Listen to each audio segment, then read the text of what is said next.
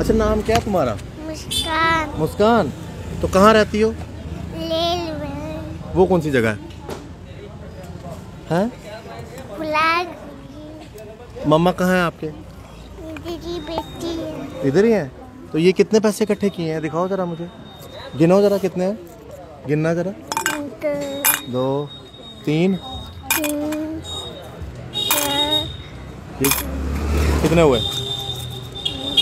हैं? दस रुपए। दिखाओ ज़रा मैं गिनूँ ज़रा। पाँच पाँच छ सात आठ नौ रुपए हैं ये। कितने हुए? नौ रुपए। रोज़ कितने पैसे इकट्ठे होते हैं? दस दस? अच्छा ये तैयार कौन करता है आपको?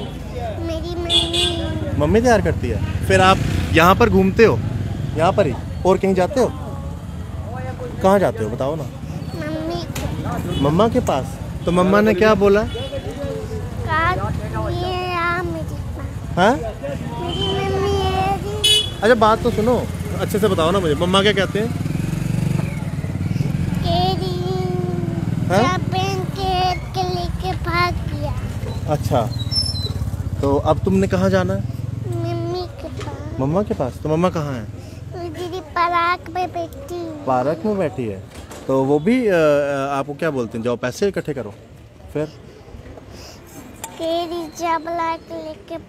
हैं हैं? क्या क्या ऊँचा बोलना? क्या बोलते हैं? अच्छा तो ये तैयार किसने किया आपको? मेरी मम्मी। रोज तैयार करते हैं ऐसे? और फिर शाम को कहाँ जाते हो घर? घर कहाँ है? ले गई रेल में?